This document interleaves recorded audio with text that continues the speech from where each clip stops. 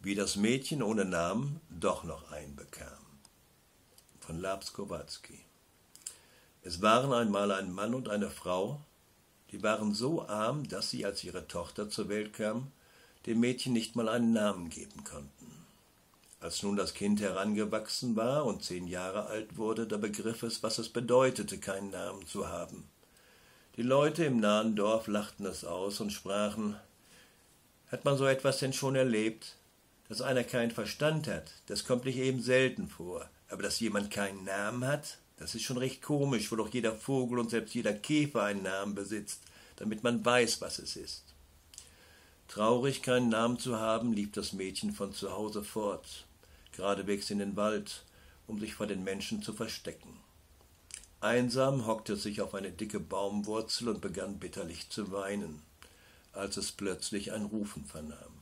Luhu, hallte es durch die Zweige. Als das Mädchen aufschaute, saß in den Ästen eines Baumes einen Luhu sitzen. Blinzelnd fragte er, Warum weinst du denn so bitterlich? Weil ich keinen Namen habe, gab das Mädchen zur Antwort. Meine Eltern sind nämlich arm, so arm, dass sie mir nicht mal einen Namen geben konnten. Den Luhu dauerte das arme Ding, das weinend dort auf einer Wurzel saß und sprach Weißt du, ich mag es nicht leiden, wenn ein so junges Ding wie du heiße Tränen vergießt, wo du doch froh und munter sein solltest. Mein Name ist Luhu, und wenn ich dir meinen Anfangsbuchstaben schenke, so heiße ich Uhu, und das ist noch immer gut genug. Da heiterte sich die Miene des kleinen Mädchens auf. Es bedankte sich artig für das L, glücklich, dass die Kleine nun nicht mehr ganz so traurig war, flog der Luhu, der fortan nun ein Uhu war, davon und war schon bald nicht mehr gesehen. Es dauerte gar nicht lange, da kam ein Eigel des Weges. Als er das Mädchen erblickte, hob er die Nase und sagte, Dich habe ich noch nie hier gesehen. Verrat mir deinen Namen, damit ich weiß, mit wem ich es zu tun habe.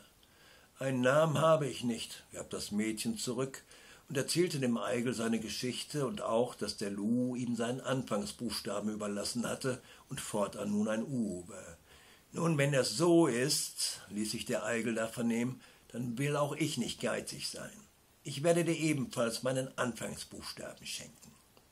Das Mädchen bedankte sich artig, und glücklich der Kleinen geholfen zu haben, lief der Eigel, der fortan nun ein Igel war, flink über den Waldboden davon.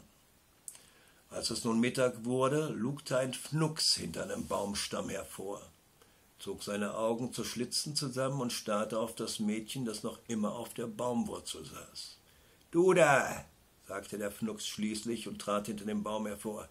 Weißt du nicht, dass der Wald den Tieren gehört? Was also hast du hier zu suchen?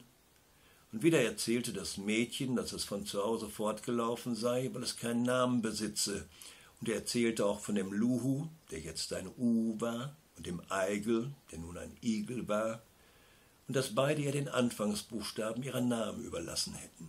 Schön dumm sind die beiden gewesen, höhnte der Fnux. Wie kann man denn bloß den Anfangsbuchstaben seines Namens hergeben, hä?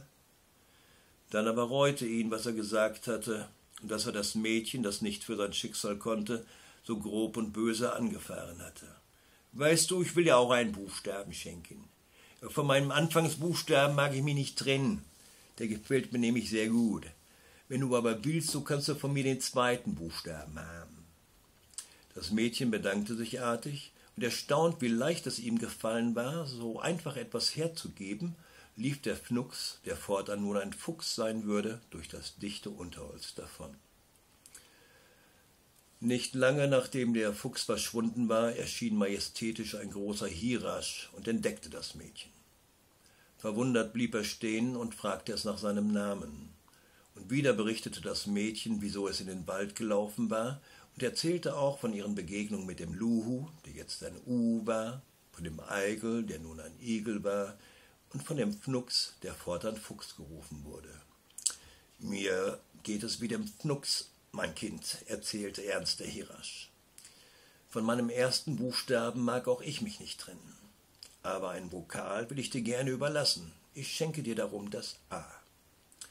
Überglücklich begriff das Mädchen nun, dass es endlich einen Namen hatte, denn vom Lu hatte es ein L bekommen, vom Eigel ein E, von dem mürrischen Fnux ein N und von dem großen Hirasch ein A, was zusammengenommen Lena ergab.